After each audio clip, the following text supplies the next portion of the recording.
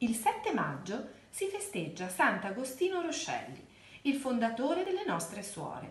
Conoscete la sua storia? Tanto tempo fa, pensate più di 200 anni fa, Agostino nasceva a Bargone, un paesino di campagna, proprio vicino alla nostra città. La sua famiglia era povera e lui, ancora bambino, si doveva occupare delle pecore di famiglia.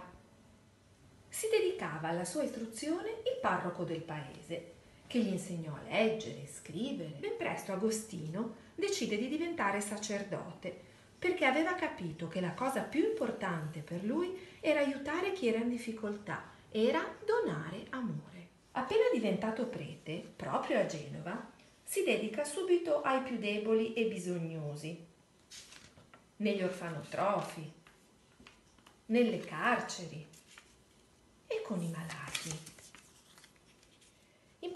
Particolare aiuta le ragazze sole, povere, meno fortunate.